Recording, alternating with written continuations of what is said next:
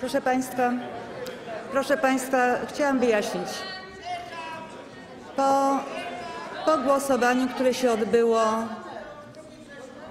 Czy, proszę Państwa, w takim razie przy tym krzyku będę tłumaczyła. Jeśli Państwo nie chcą słuchać, to jest Wasza sprawa. Proszę Państwa, po tym ostatnim głosowaniu poprosiłam konwent y, seniorów. Na konwencie seniorów y, przeanalizowałam wniosek, który wpłynął od grupy 30 posłów, którzy powo- z wniosek o reasumpcję głosowania, powołujący się na to, że nie była podana data.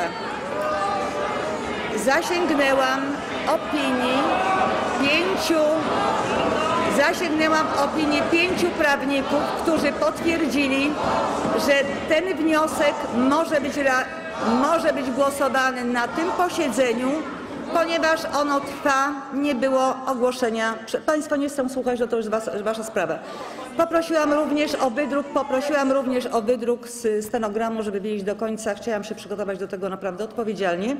Więc zasięgnęłam opinii pięciu prawników, stąd była ta przerwa i wydruk, z, wydruk, z, wydruk ze stenogramu.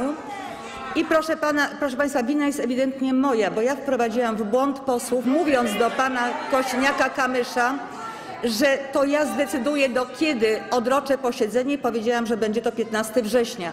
W związku z tym, że był wniosek o pierwszy, o drugi, a ja powiedziałam, że ja zdecyduję, jest to w stenogramie i Państwo to mogą, mogą, mogą przeczytać. Uznałam po zasięgnięciu opinii konwentu seniorów, zgodnie z regulaminem, decyzja należy do marszałka Sejmu po przeanalizowaniu wszystkich przesłanek, po zasięgnięciu, co mnie nie obliguje, ale zasięgnęłam opinię pięciu prawników. Oczywiście, że tak. W związku z tym odbędzie się reasumpcja tego głosowania.